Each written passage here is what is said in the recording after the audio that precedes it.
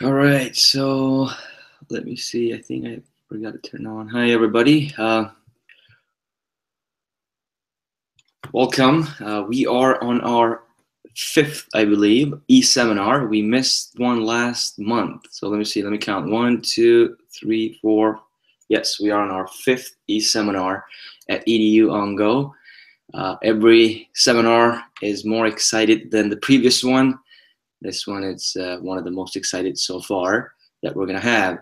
Uh, right now it's 10 a.m. Pacific or 10:01 Pacific, um, and today we we are we have a very special guest, a friend of mine, uh, that I will introduce him shortly. But before I do that, I would like to just go over uh, how you can ask questions during the seminar, and I am going to log in into a different screen here real quick that I can see your questions. So give me one second.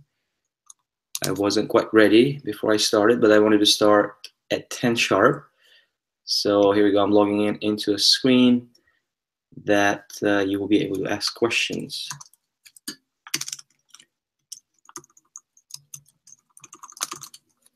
All right, let's see.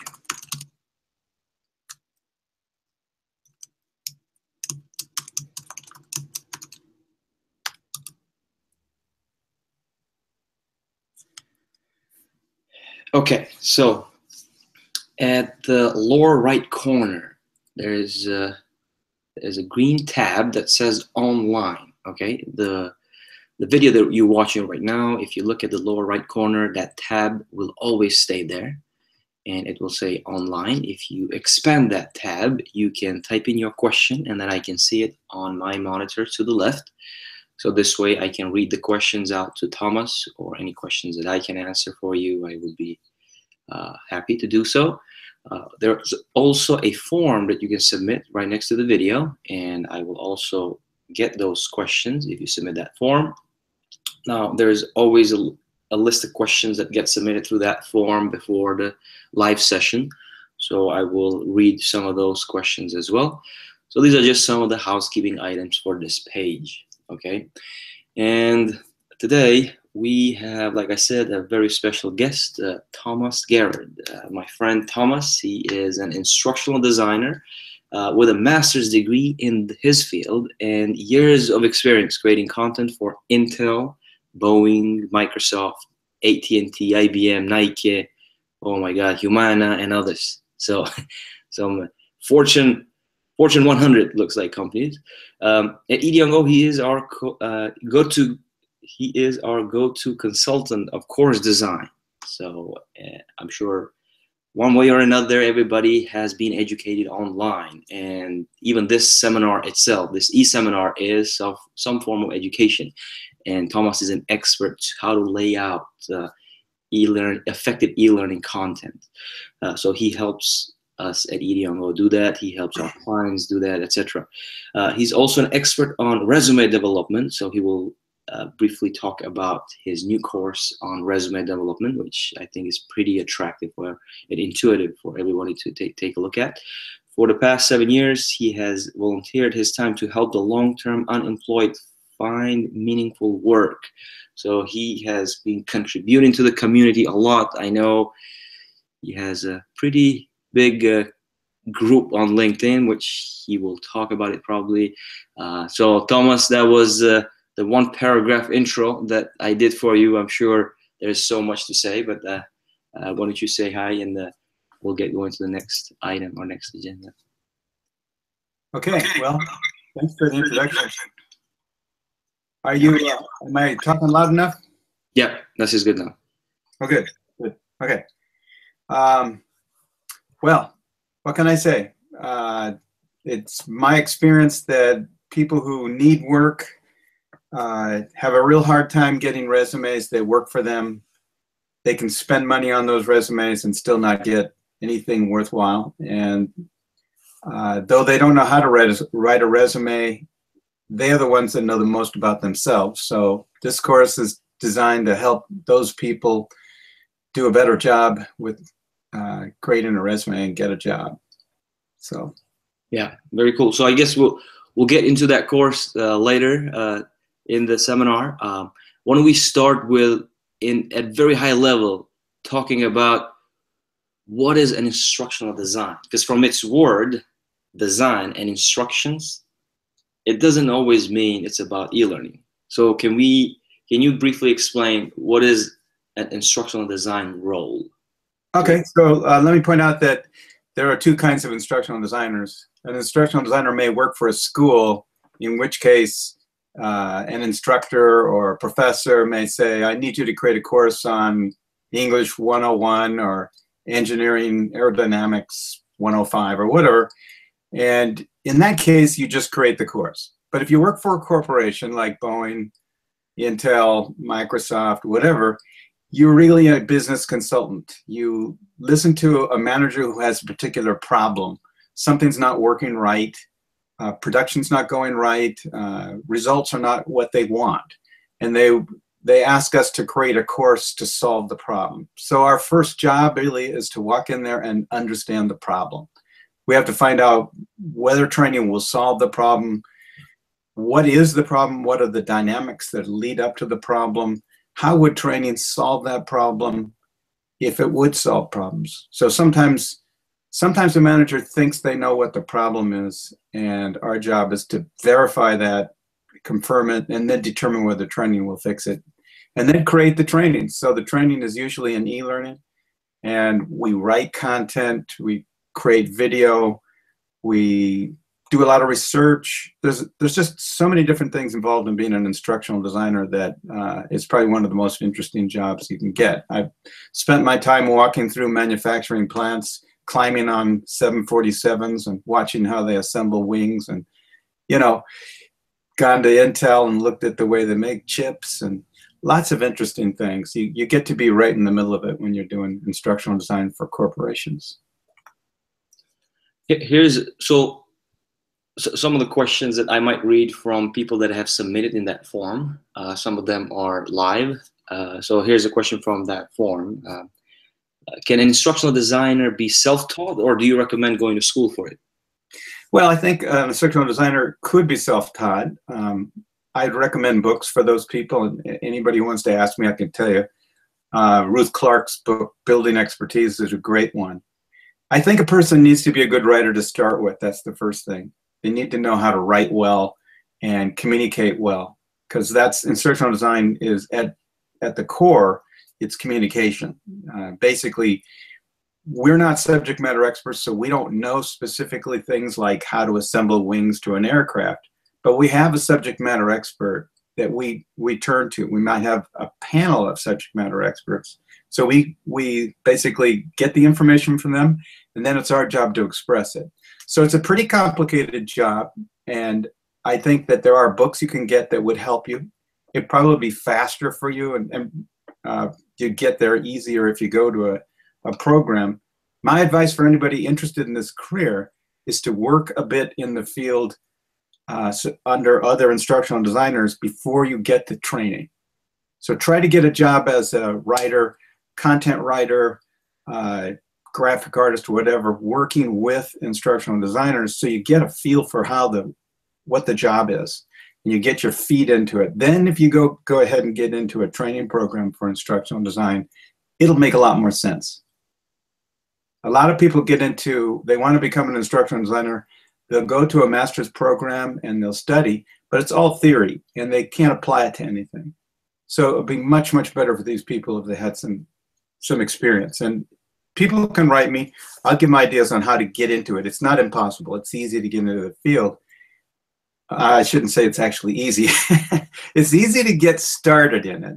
Uh, as far as getting some practice and that sort of thing. Even people with master's degrees struggle to get their job primarily because employers don't hire anybody who doesn't have experience. So the first thing employers want to know, as you'll see in my course, is can this person do the job? I have some work that needs to be done. Can they do it? And I want to see some proof that they can do it like they've done it for somebody else. Don't tell me anything about what you did in school because that's for children. school, school is where kids are and school is where you get your start in in your field. But before I Someone hire is you, chatting you on Skype. uh oh. Sorry. it's okay. I have Skype opened as well. So. Yeah. Okay. Um, my computer has a way of telling me when somebody's ta- uh, talking to me, so oh, okay.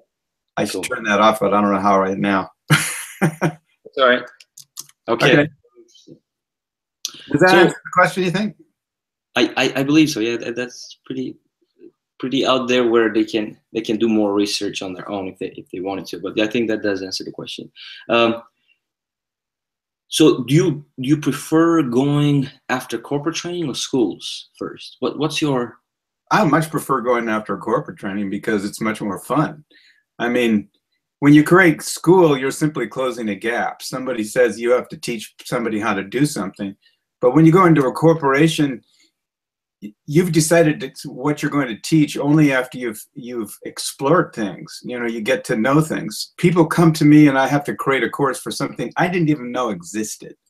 Teradata you know uh, what the heck is teradata? I never heard of it but that's the adventure of it in the corporate world. Also when the corporate world you're sitting down with an executive or a head manager or something and they're telling you their trouble. So you're right there in the middle of it and and it's it's so cool to be able to sit there like a fly on the wall and explore things you never saw before to walk into manufacturing plants to see new technology. Uh, it was really exciting with the 787 to see how they used laser positioning things to and robots that that you know drilled out holes and put in rivets and stuff like that. It was just very very interesting. Uh, and in a uh, in the corporate set, I mean in the academic setting, somebody just tells you what to do. Uh, in in the corporate world, it's it's a much bigger role for you. Uh, needs assessment. I mean, I'm going to be assessing a course, and I'm going to I may discover that in order to affect change before a course is delivered, management needs to do something. It may be they need to make an offer to employees so that they're more open to a new role uh, but they have to do something because resistance to the change may be too great. And I, if they're not going to do that first, then the training is not going to be effective. So you have all this interesting dynamics going on in the corporate. So it, as far as I'm concerned, the corporate learning is much more fun, much more interesting. Also, in the corporate world, we have a problem. We measure the problem, and when we're through with the training, we want to see whether we made a change. That's also really exciting. In the academic world, you're just giving them some information. You don't know if it does any good or not. There's no way to measure whether, you know, people learn and actually apply it on their job and it helps them. There's no way. You're just throwing it out there and hoping it does some good. But in the corporate world, if you have an organization that's really well managed, they want to see evidence of the problem and they want to see that you change that evidence. So there's, you know, maybe it's a people are getting injured using a particular piece of equipment, how many hours of uh, lost time resulted from injuries on that equipment in last year and the last five years. And then we're going to track that for the next few years. And if I change those numbers, I'm a hero. so basically, so instructional designer helps the subject matter expert, and they're always in the learning mode, it looks like, the instructional designers. They, they Oh yeah, yeah. I never did homework when I was in school, and uh, so this is God's way of punishing me. I do homework every day now, but it's actually a lot more fun now. I mean, I, I the, the homework is more interesting to me, so I actually enjoy it. So, real quick for people that joined a little late, uh, we're talking about instructional designers, which is these people that help subject matter experts, corporations, or schools lay out effective e-learning courses. Okay. And let me correct you just for a minute. We don't actually help anybody. We're the boss. You're the boss. Here we go. That's even better. We walk in, the, the subject matter. The subject matter experts are our servants in a sense. Got it. We, they're there to help us get information. We ask them. It's like we're investigators. They have information. We keep prying for information. We run the project. We decide how the course is supposed to be designed, what's going to be in the course. We definitely work with a stakeholder who's going to approve what we're doing because we got to be on the same page with the stakeholder. But pretty much we run the show. And, and when we talk to the stakeholder, we're like their doctor or lawyer. We know more about what we're doing than they do. So we, we ask them to trust us. There's a question live. How technical do you have to be to get an instructional designer entry level position? Um, well, it's interesting you ask. First off, in my opinion, an instructional designer is first a communicator, an analyst.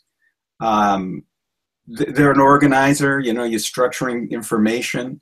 Those things are far more important than technology. But when you're talking about entering into the field, you may be more valuable as a technologist. So you're going to use Captivate, Storyline, some of these Camtasia. If you can use these tools, you can you can work uh, you can support the instructional designer. So that is a way to get in without the master's degree or any of that extensive training. So in answer, that was a good, a good question because uh, that technology, and it's not really hard to learn how to use those tools, but if you can say you know how to use Captivate, Storyline, Camtasia, uh, Articulate, uh, these different pro technologies for voiceover, for video editing, for presentation creation, if you can use those tools, then you can take a storyboard from somebody else, you can put that stuff together, and it's a great way to get a feel for the job, you know, to get an inside view. So I, th- I think it leads to the next question where what are so what are some of the questions employers ask that at high level you, you can cover? Like what, what would they ask? Um, well, the first thing they're going to ask, they're not going to ask you, they're going to ask it of your resume. Right. Uh, they're going to ask, have you done this work before? So, and if, if your resume demonstrates that you have done something of value that they need done, then they're going to be talking to you. But if it doesn't demonstrate that, they're not even going to ask you any questions. They'll never get to you because your resume is going to be round filed. Right, right. So, so it, questions they might ask after they meet you is things like, um, you know, uh, tell me about your experience working with subject matter experts. You know, because they want to know that you've worked with uh, subject matter experts and get along with them. The interesting thing about subject matter experts is, even though they don't work, we don't work for them. They don't work for us. They're usually there as volunteers. They've got a regular job that they're supposed to do, and they're judged by their performance on their regular work they don't really have to give you a lot of help. So your job is to build a good relationship with them so they really want to. Um, and so it's really important to them that you know how to work with subject matter experts, can maintain that rapport, that relationship, and get the information you need from the subject matter experts. So they're going to be asking about that. They might ask you about your experience working with stakeholders, your experience doing front end analysis on a job that's assuming you're a full-time instruct, you know, a full instructional designer. But if you're that technologist that's coming in, then all they might ask is, do you know how to use this tool? Tell me about your experience using this tool. You know, show me some of your work. Um, and, uh, you know, so questions like that would, would be um, typical. So, so do you recommend getting an internship position first before applying for a professional? You have to have experience. If you, can, you know, that's the age-old question: How do you get a job if they require you to have experience and you don't have experience? They won't give you a job to get experience. So how do you get going? Well, you, you have to you have to make your experience. If you can't get somebody to hire you, it could be an internship. It could be opportunities where you do something for nothing for somebody. Um, you have to find a way to do something and be able to put it on a resume have somebody verify that you did that something. So you can do that with an internship. You can do that any number of ways. Most internships give very little support. The KeelWorks internship that I run is, is pretty involved. There are only about 15 spots in that internship. Uh, and usually, those people in that internship already have a master's degree. Um, but if people don't have a master's degree and want to be involved, and they're good writers, then I think um, I think I can help them. But um, we'd have to. It it oftentimes depends on the person's self confidence. Sometimes people without a master's degree can be very successful self taught, but they got to have enough confidence that they're not going to be feeling um, inadequate because other people have master's degrees. in reality, those people that are coming to us with master's degrees know very little. Um, they have a lot of theory that they have no practical, re- re- they can't relate it to anything practical, and they've forgotten half of what they just learned. so I, I think if a person studies hard and has enough confidence not to be intimidated by the fact that other people have more degrees, they'll be fine. All right. Okay, so one more time for people that come in late. Uh, if you want to ask questions live, you can click on the tab at the lower right corner where it says online.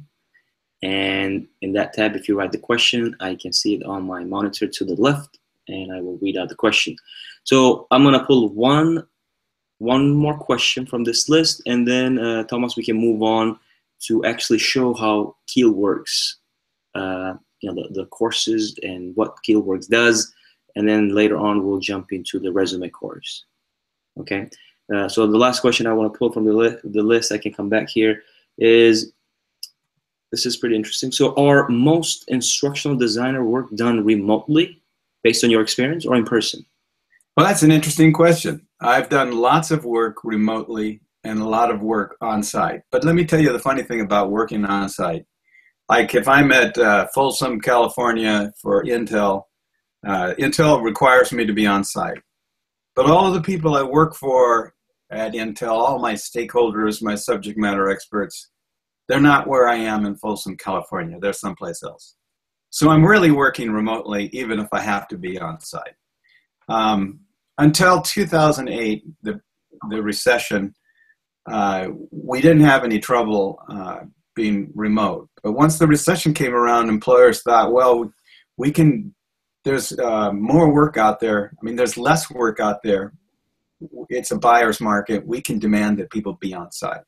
So there's been more on site requirements but it's it's not um, it's not essential. It, you, I do all my work really remotely, and whether I have the job remote or not, whether the employer lets me work from home or not is it's just up to the employer's comfort level. And I'd say of the jobs out there for instructional designers today, probably five percent are remote. Um, and the best, your best chance of getting remote work, and remote work pays less than on-site work naturally because if you're going to be on site, you're basically working away from home. You're doing a contract type thing. Um, I definitely would recommend uh, you, you, avoid the contract work uh, in instructional design because you're basically an outsider, uh, and it's hard to be an outsider in this kind of work. Um, so if you can get a job in a corporation and you're a full-time employee there, I think it's more likely to be able to work remote after you've started. So I don't know how to answer that question really better than what I just did. It's uh, it depends on circumstances. The job can be done and easily be done remote. It really depends on the employer. Okay, very cool. Okay, so let me see. I'm gonna start sharing my screen pretty soon. Uh, I want to actually show the Keelworks. Uh, course catalog. And then uh, Thomas, you can also share the screen and go some of the maybe some of the courses that uh, uh, students can can join. So give me one second. Did you want me to talk a little bit about why Keelworks uses EDU on Go and what its advantages are in instructional design? Let, let's start with that. Yeah, that, that's a good idea. So while you talk, I will share the screen, okay? Okay.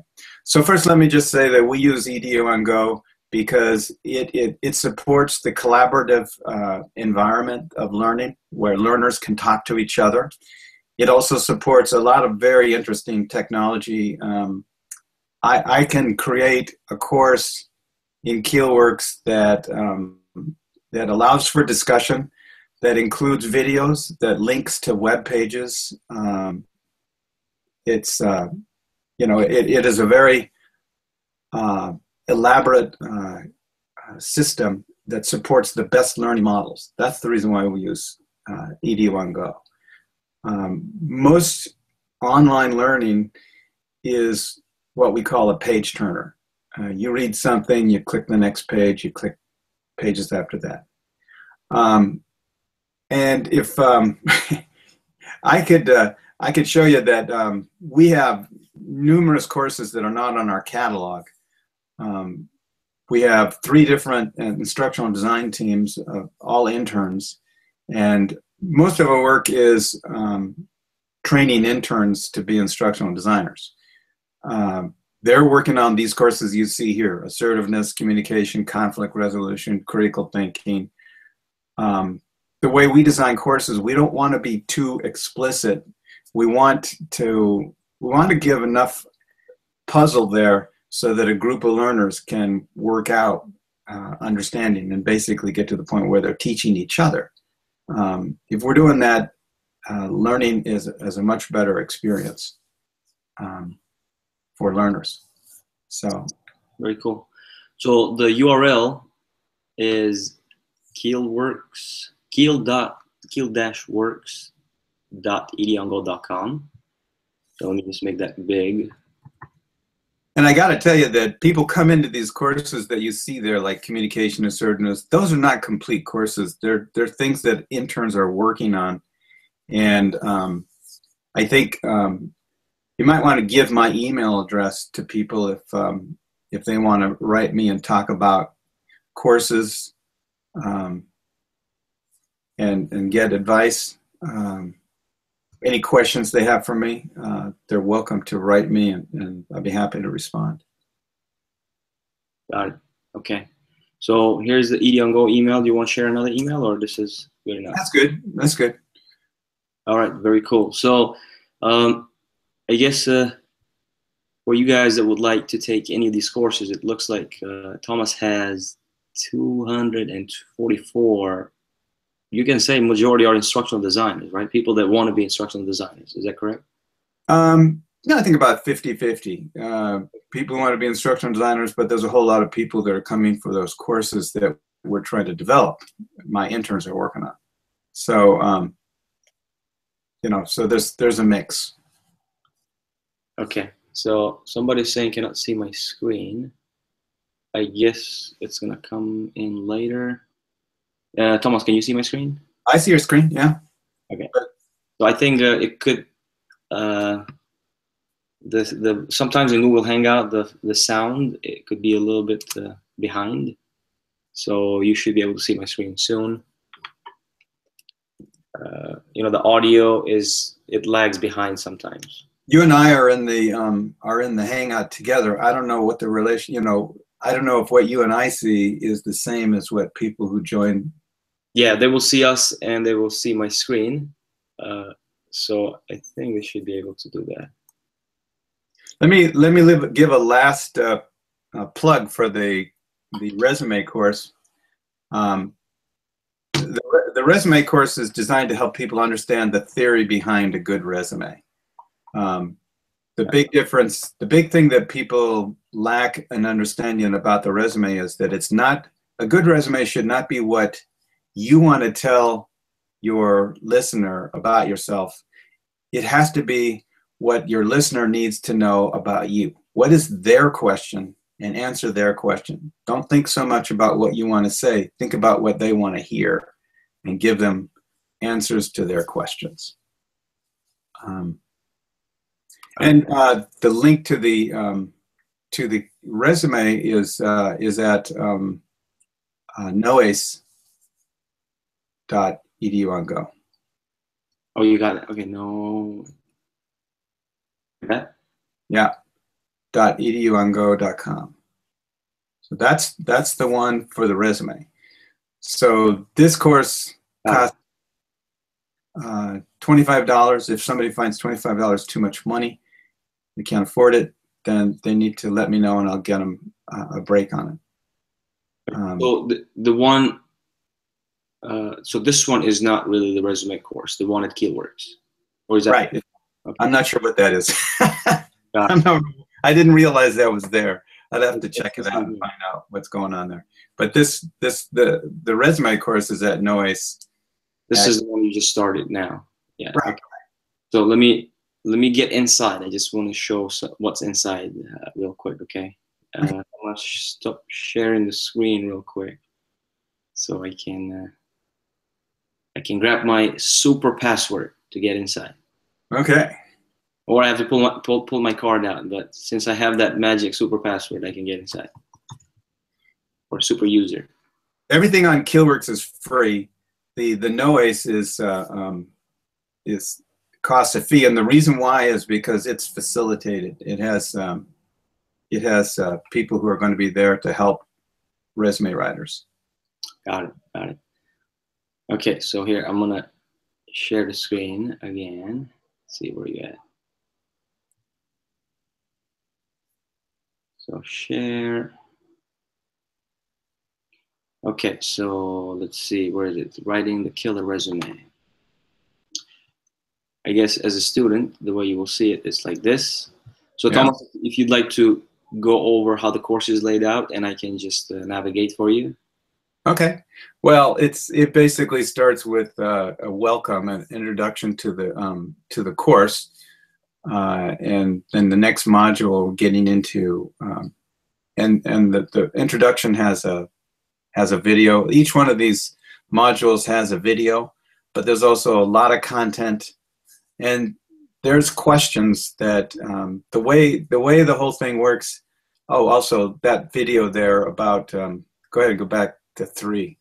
That video there about We Can Do Anything is a song I really enjoy, but the message in that song is really a very good uh, explanation of how this learning model works.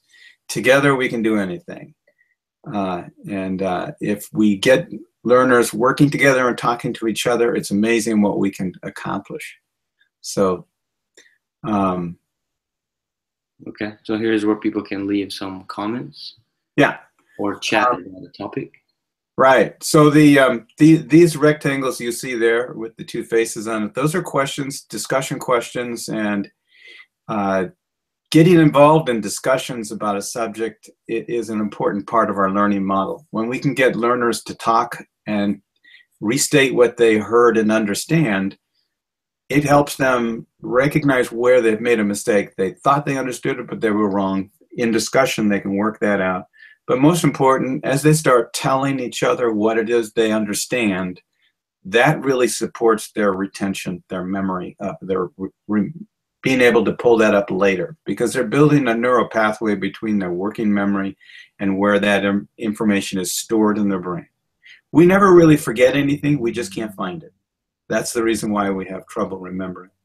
And if you learn something and you take some time to talk about it, you'll remember it.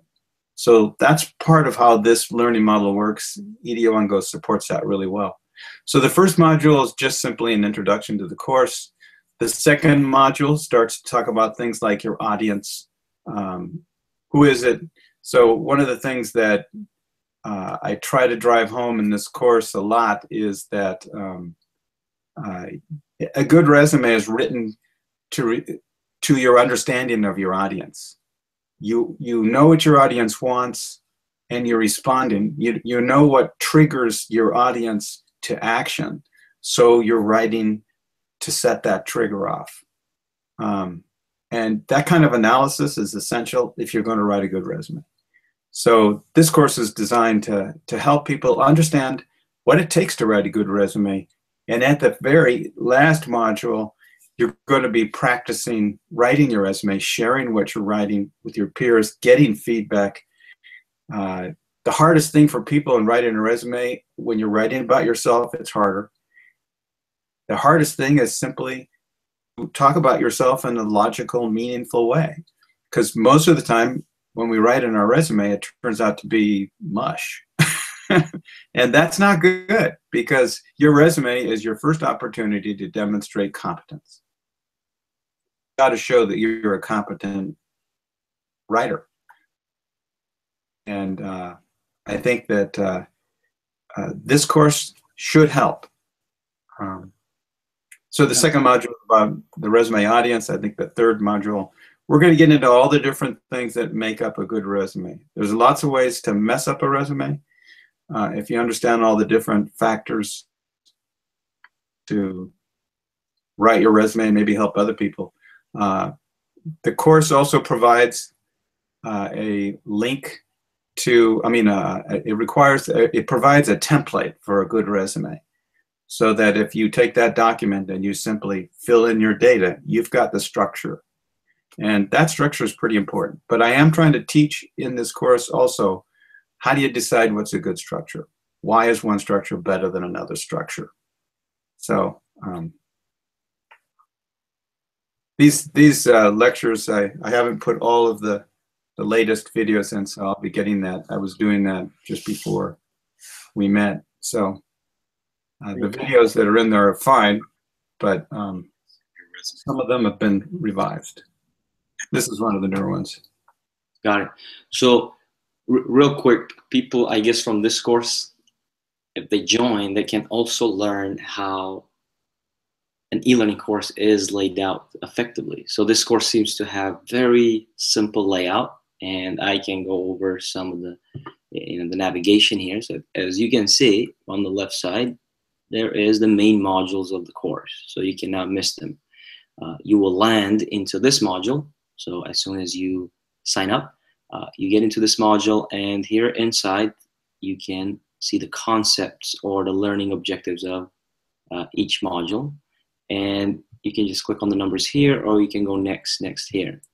Uh, if you want to go to the next module, you can simply click here on the left or upright corner. This one is actually going to switch between the modules. So there's different ways you can get to the next one. There's also a drop down that it will get you there. So uh, here's the next one and again go through the numbers so you can uh, see some of the uh, action items and some of the discussions that you would have to discuss with peers inside the course so here's a discussion topic uh, do you agree with the audience assumptions and it looks like the course has discussion topics throughout the modules uh, this way it's more interactive uh, and at the bottom here, so these are all the discussions, uh, I guess, consolidated into one list. So if you ever wanted to get to any of the discussions in this list and contribute towards that, you can come here on the left side and click on discussions. And so Thomas, these are linked in the modules, right, as well? Right. Yeah. Right. Uh, so, and at the bottom here, here's uh, class files, which Thomas just talked about, the template you can download. So this is very cool. He already made an already, uh, you know, is it a Word document? Yeah, it's a Word document. Okay, so you download this Word document. You have the wireframe of a nice looking uh, resume, and you can fill it with the content in there. Uh, and all the way at the top is the course lounge area, which is pretty much the main wall of the course, the community of the course. And here you can post notes or ask questions, uh, post some media for others, maybe some uh, relative uh, or related uh, topics that you'd like to share with the class, etc., etc., uh, or an article, as you can see here. So easy to follow and very nicely laid out. Uh, so if you join this course, you will not only learn how to build a resume, you can also observe how an e-course is structured. So this is pretty cool. Um, and I know when you click on the videos, uh, you can watch the video on the left side.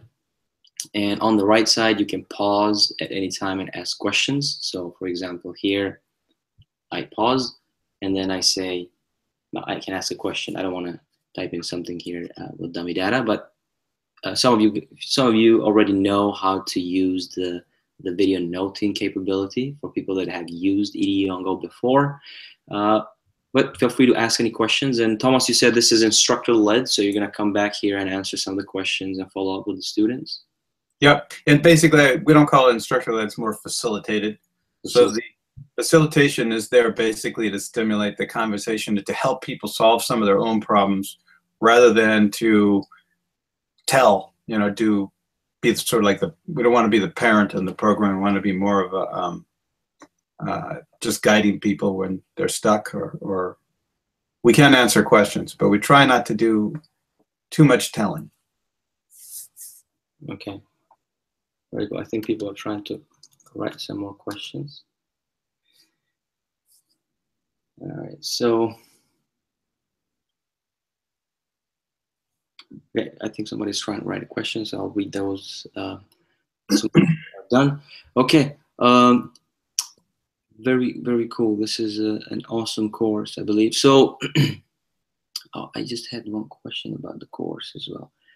Uh, okay, so and is there a way for students to upload their resume so you can give feedback once they get something up and ready? Did you have you have like a Absolutely. Yeah, that's that's going to be really important. Um, I can we can go through this whole thing, but in the most important parts where people are going to write their resumes, they're going to put they're going to put stuff up there. Uh, they're going to talk about certain parts of their resume, and they, they definitely it's really important for people to share their resumes and get feedback. You pretty much have to build a resume through iteration. You're, you're creating a version, you're showing it, you're getting feedback, you're revising it, you're showing it, you're getting feedback, you're revising it. That's that's how a resume gets made. Got it. Got it. Okay. So where would they upload? Is it some of these discussion uh, like? Uh, it's been a while since I looked, so it'll be up to me to make sure that it. But it probably be an assignment.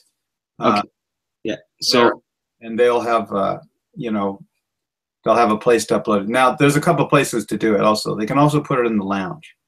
Right, right, right. But that'll be. It's a good that you asked that question. It's been a while since I've looked at this. I need to make sure that that mechanism is really in place. Yeah, because that's that's like eighty percent of the course. Uh, right, right. Upload your resume and share it. So if you have one you know one specific place that you want everybody to upload and you can get them individually because the course lounge everybody would see each other's work which you know people can if they if they want to they can share that with everybody and get feedback from everybody. Uh, but having one specific place that it comes only to you and you can give private feedback that will be awesome. I got to tell you that um, that that group feedback is is really important. After all, if you write your resume, you're going to be sending it out to the world. Um, right. So keeping it, I mean, after all, you're also in a community of people who may know about a job. So sharing your resume with other people is not a bad idea. Um, so the more you talk about yourself and people hear about it and talk with you about what you do, you're going to find you're basically building a network. So these people know about you if they're actually looking at your resume. So I don't know if I'd want to. I mean, I think it'd be silly if people were cautious about letting other people see their resume. It's you don't have to put your email address and your phone number and personal information on it, uh, but you can certainly talk about what your strengths are, the kind of work you did, that sort of thing. And I would, uh, uh you know, I, I I would help people get past any concerns about sharing. So. Um, leveraging the community in this course, that's that's going to be the most important thing. Got I'll it. be there to make sure that um, you know that people don't go astray, that the wrong advice isn't given, that sort of thing. Um, by asking questions, how does that relate to this advice that we had on module two? You know, that kind of thing. And Ridvan's there to back me up. Yeah. So if you if you have any questions, then I don't answer them well enough. Ridvan Ridvan will answer him. He knows everything. Here we go. I'm gonna throw something out, okay, on your behalf, Thomas. Okay. If people contact me, I will give them a code to discount your course to ten dollars, and I will work out a deal with you, Thomas. Okay. Sounds good. I like this course so much that I'd like some of our students uh, uh, that I will pass into our community to actually take a look at this and uh, go through the exercises. And I think it's very beneficial for everybody to to build a resume and also, you know, learn about instructional design along the way.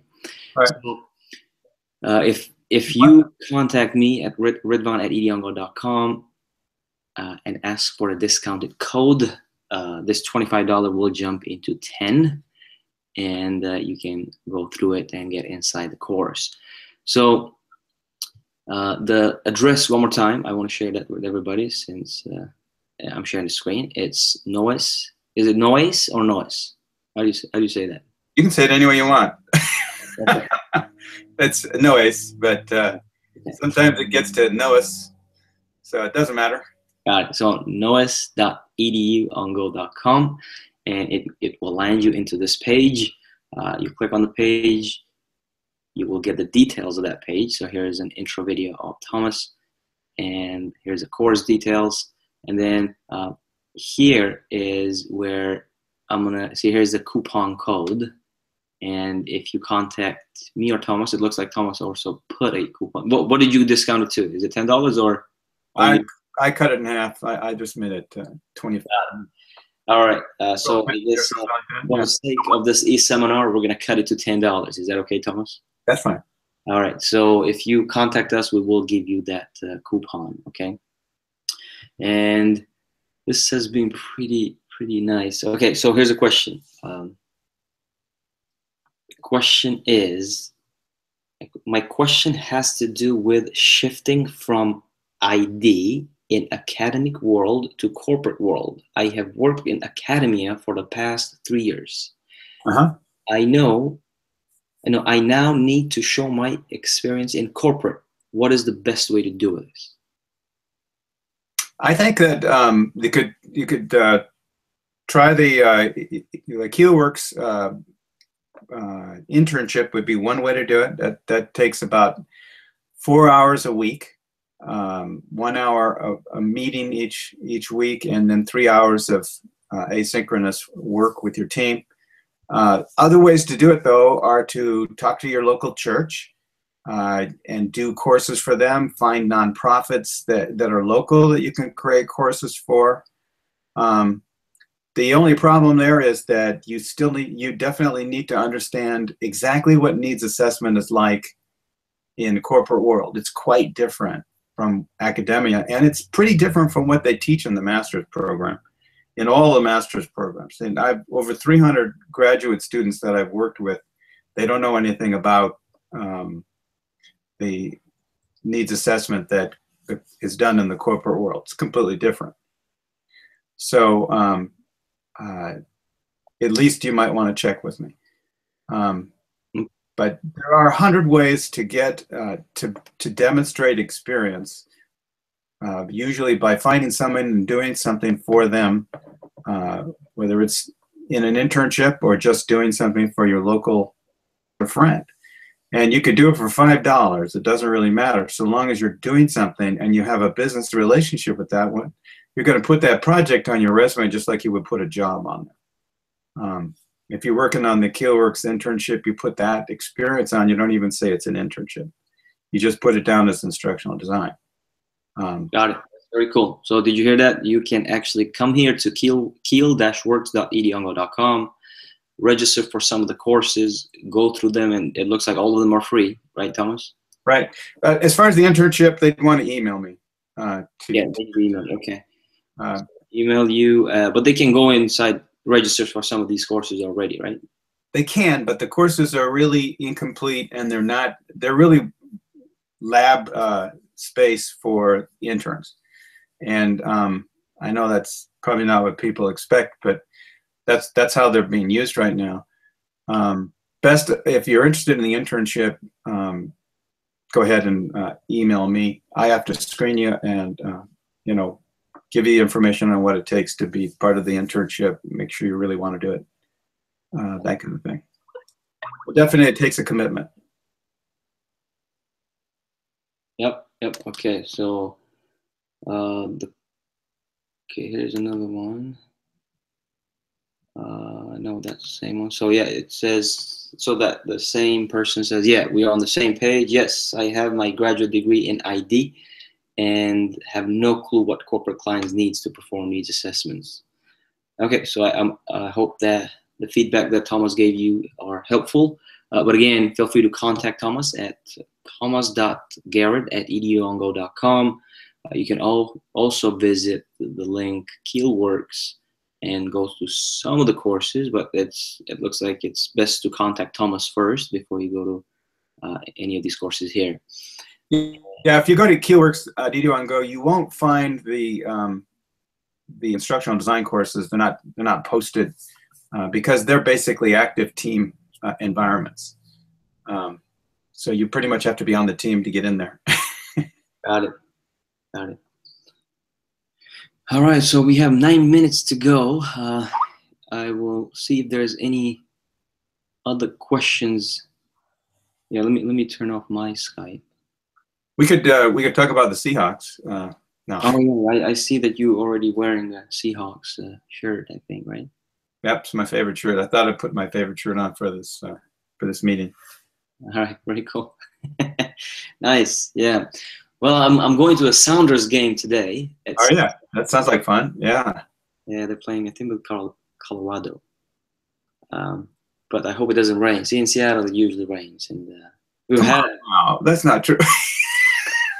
uh, well, we've had the record high uh, April and May, right? Uh, weather. Yeah, April and May have been incredible. But you know, we've been dealing with El Nino, which has had warmer weather, and I believe we're now moving into La Nina, which is colder and wetter.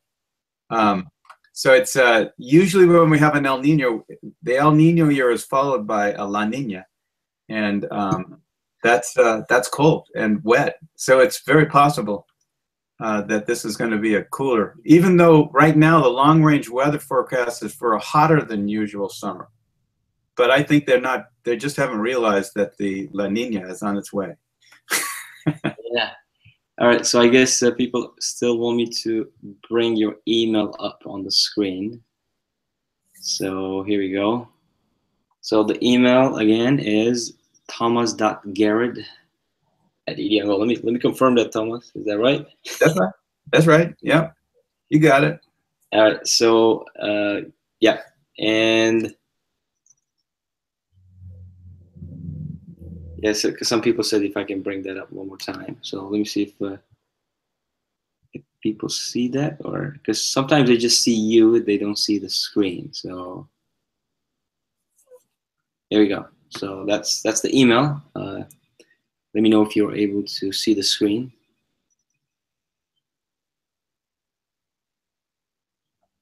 Now, now I just brought up the screen. So it looks like in Google Hangout, I have to click on the thumbnail that shows the screen.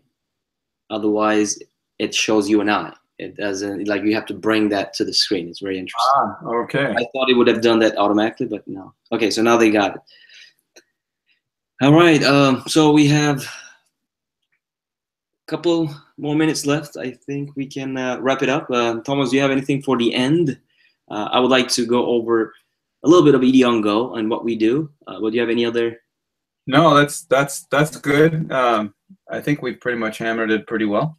Um, Very nice. So again, the two the two links, uh, or the, the most important one for you guys that would like to get a job as an instructional designer is if you go to knowace.eduongo.com, there is the resume course in there. Uh, so if I click on it one more time, here's the resume course, and please email us uh, so you can discount the course to ten dollars from twenty five. Um, By the way, uh, I don't want to. The, the, what what you just said was that you'd go here if you want to get a job in. To to learn how to build a resume, right? Yeah, this is this resume is for this course is for anybody who needs a resume. Right, it's not for instructional designers only. But since you are a senior instructional designer, you can you can kind of uh, massage the resume for people that would like to be instructional designers and give them feedback. Definitely, I can always help uh, instructional designers, and I, I usually the, the one thing we try to say in this course is that, that part of the things you have to do is you have to figure out how to take your past experience and make it relate to the job that you want. You, you can't tell them all the nice things you want to tell them about a job that's irrelevant to the job you want. I hear you. All right, very cool. So for the last uh, five minutes or less, uh, I want to tell you about ED on Go uh, briefly. And what you see here, the academies that we're showing you, keelworks.eduongo.com. Here is you have no knowace.eduongo.com.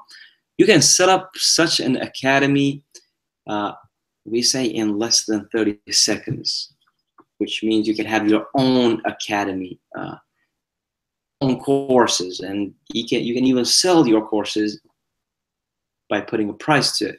So for instructional designers out there, even if you want to show your work, show your work, what, what you have done uh, to maybe to a potential employer, uh, you can come here at eduongo.com and create an academy of your own. So from the home page, there's there's this button here that says create a free course uh, or uh, the button uh, up right corner, which will always follow you as you go through the page. Okay, these two buttons will take you through a page that says get started in 30 seconds. So all you have to do is fill up these two steps. The first step is give your academy a name, come up with your own subdomain, and the system will tell you whether it's occupied or not. Step two is you give your uh, your your name and last name and email. So I, I guess I can go real quick. E seminar. This is May. So here's e seminar May. Step two is uh, first and last name. So if I say e seminar May at eduongo.com and I hit finish, this will create now my academy in the cloud with the subdomain eSeminar main May. Sorry. So here you see at the top here, here's that. And I can share that link now with people and it will land into my course catalog. Now, this is my empty course catalog. So this is where you start creating your pages. Uh, you can change the logo right away, um, change the login logo. So if you scroll down here under themes, you can go ahead and customize that right away. So change the logos and the background image. Uh, and eventually you can even point your own domain name. So for example, I have my own academy at ridvanaliu.com. If you want to serve your academy under your domain name, you can do that as well. So take a look at this now. This is my academy. Uh, and uh, you can fill up with as many courses you, as you like. Uh, even build a theme for your course catalog. We have introduced that recently. here's some of the, for example, here's his people building. So here's a brand called Skillnatic. They build their own themes on the course catalog, but behind the scene is EDU. So you can serve your course catalog with whatever template you like. Here's a pretty nice looking theme that I like, what uh, Skillnatic has built. And it's, again, it's still ED behind the scene. So for anyone, any instructional designer that would like to uh, start getting experience how to use a learning management system, uh, ED is supposed to be very easy to use, ridiculously easy to use, okay? And uh, uh, you can start building courses and maybe sell some of your work in the future. So that's a very brief introduction of eduongo.com. If you have any questions at all, you can email me at uh, ridvan at eduongo.com uh, or Thomas. Uh, Thomas can give you all the help you need to lay out your courses. So we have one minute left. Uh, I would like to take this opportunity and thank you all um, for joining us today. Uh, this has been awesome. We might, we will definitely invite Thomas in future e-seminars. Um, we'll also probably, when we get the next e-seminar, I'll see how Thomas' schedule looks like, but we might have three people in the e-seminar. So me and Thomas asking questions to others uh, that we join, that will join us next. Well, that'd be great. Thanks a lot uh, for including me, Ridvan. And yeah, thank you, Thomas. Uh, so, how long has eYango been in existence? Since uh, 2013. So, yeah. So that's what three years, right? So over three years now, almost four actually, and we love it. We have over what we call over a thousand active academies uh, around the globe, and uh, we go from the academia world to corporate. The latest uh, uh, client that we have in the corporate world is uh, in the restaurant business, uh, a company that has more than 400 restaurants. So we do we, we provide the tools for them in corporate training. But here's our corporate uh, kind of page. So if you go to eduongo.com and you can tour K-12, higher education, corporate, or individual, and you can see what we offer in the different segments. All right, so okay, so you don't disappear on me if I start recommending this platform for course building to my clients. Okay, here's not questions for me, so let's let's take one more minute. I know Thomas, uh, I don't know how your schedule looks like, but I can I can share more minutes here. I've got I've got time. I've got a bunch of guys in in Kosovo waiting for me, but oh, okay let me see. So the question is, says so so you don't disappear on me if I start recommending this platform for course building to my clients.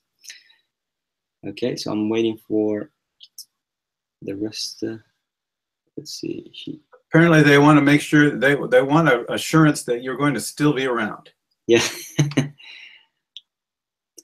how many persons are now sharing this session and how could you answer all of them? I have a training center for educators and teachers and I am searching for suitable e-learning tools. Okay, so it looks like uh, some of the questions are related not to EDU on Go as well, but uh, Thomas, um, you can you can answer some of these too probably. So, how many person how many person are now sharing this session, and how could you answer all of them?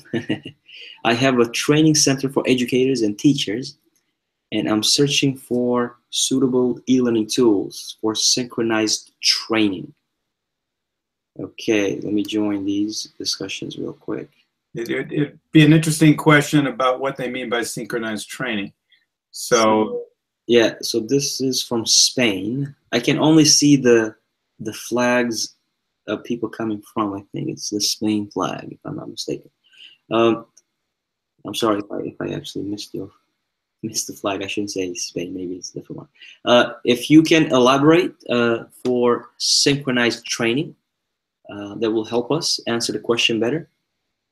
so when we talk about synchronized training, it- we usually split uh, e-learning into two categories: uh, synchronized or asynchronized. Asynchronized means that people can get on at any time, post questions and answer questions within a period of time. So you might have a course that starts April 1st, and you have assignments for that week.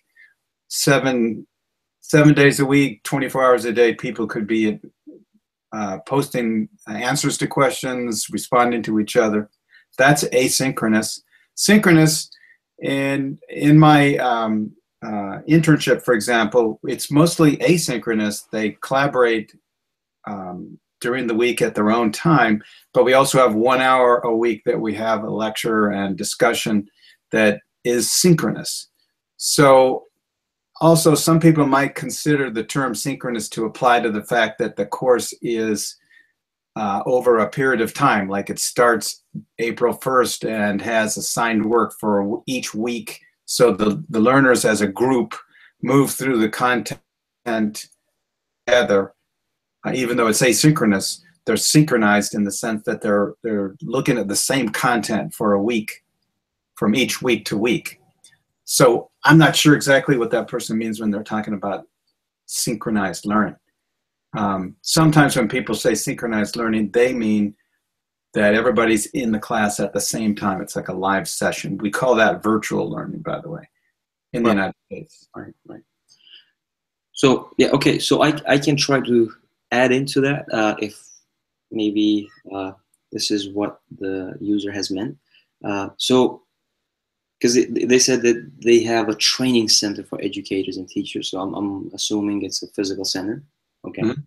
Uh, so ED is used also for traditional classes, where it's not just for online purposes. You can organize your course even if you teach in a traditional way in person uh, instead of you know organizing with files and folders uh, or Dropbox, etc. You can organize the structure of the course using EDU on Go, uh, and then people can have access when they when they go home as well. So uh, in that case, you can also you know you can have uh, start and end date for the sessions that you like or the topics or units, whatever you want to call them. So as you can see here, uh, it's pretty flexible on how you structure the course. Okay, so here I renamed this to lessons, and you noticed in uh, Thomas's uh, uh, resume course, it was named modules. Okay, which means that you can rename your left navigation as you wish. Okay, so and you can snap. See, Thomas snapped more of these modules to the left side. Okay, and when I say snap, it's pretty easy.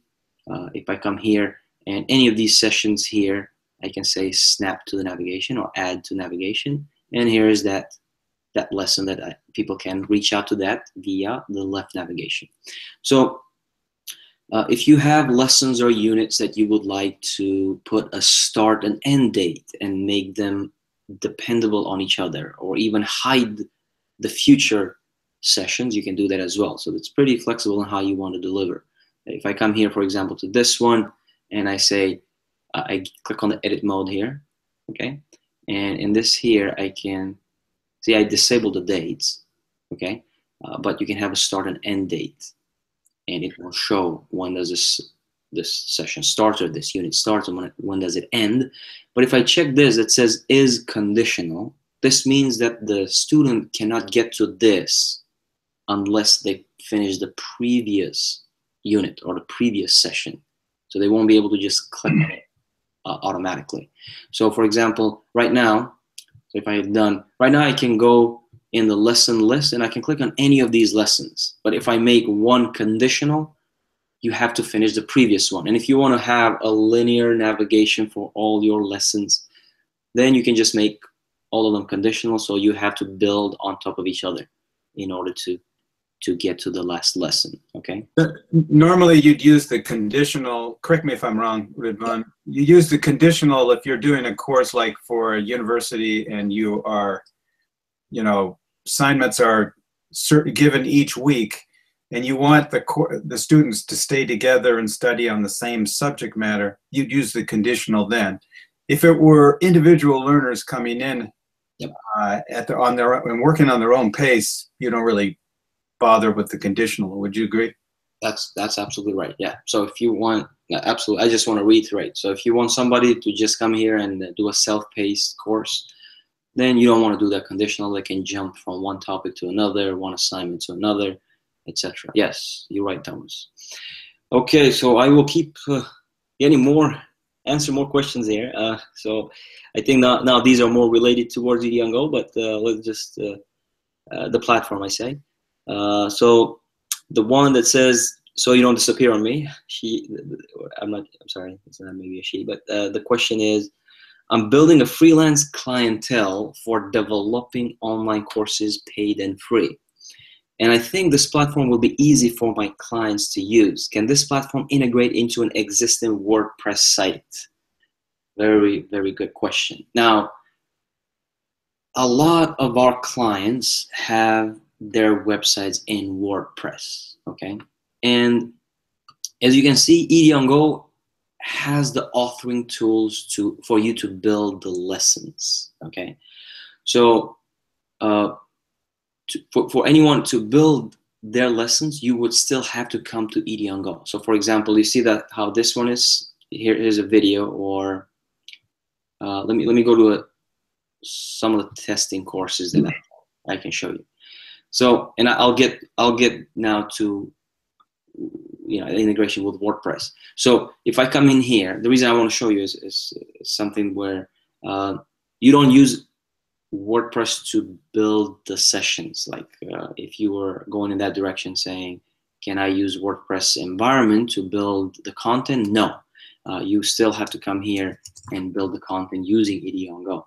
And it has all of these tools that you can build the lessons with. And even, even has a live session tool. So if you want to have a virtual session, just like WebEx or GoToMeeting, you can schedule that with your, uh, with your um, with your teachers. Now, for the clients that we have that use WordPress and EDU on Go, all they do is somewhere in your WordPress website.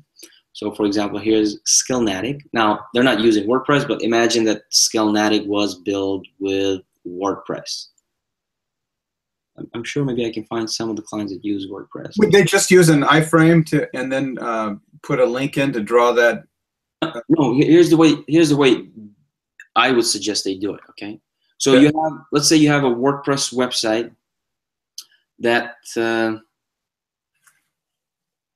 let me see. I, I I might be able to find somebody using WordPress here. I think these guys use WordPress.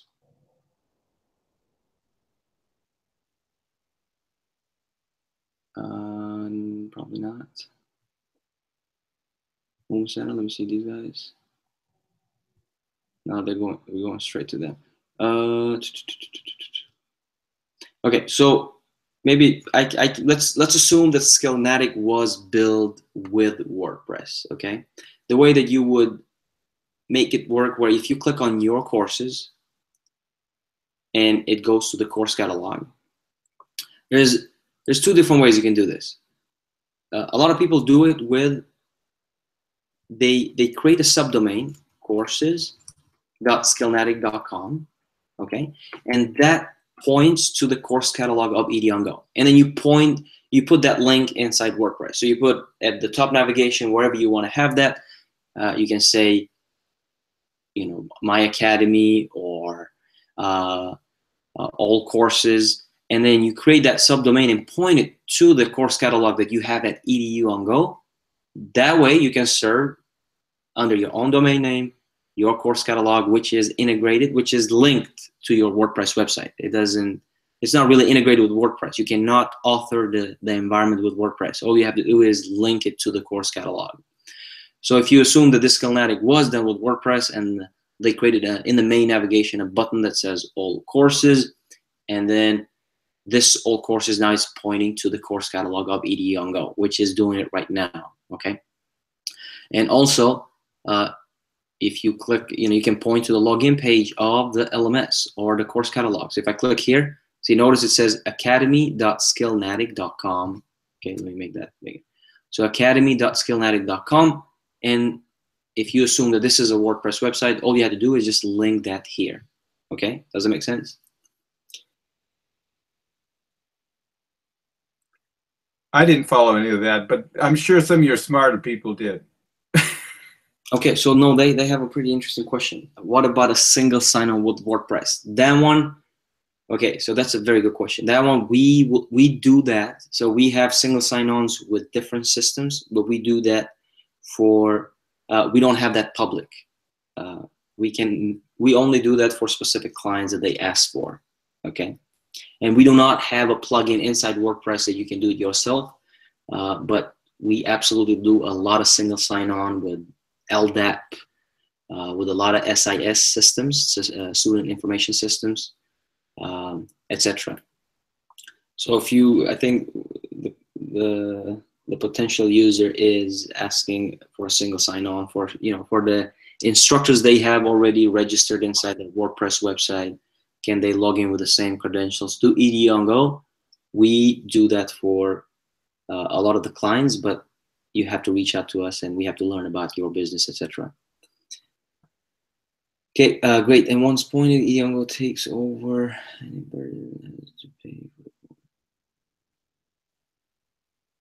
Okay, and once pointed, ED on takes over, and if person has to pay for the course, they can then be given access to the course. Absolutely, yeah.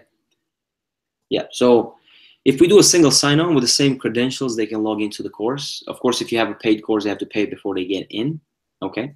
Uh, but even if you don't do a single sign-on, so let's assume, again, back to this, let's assume that Skillnatic was a WordPress website. All you did is point it to your course catalog, okay?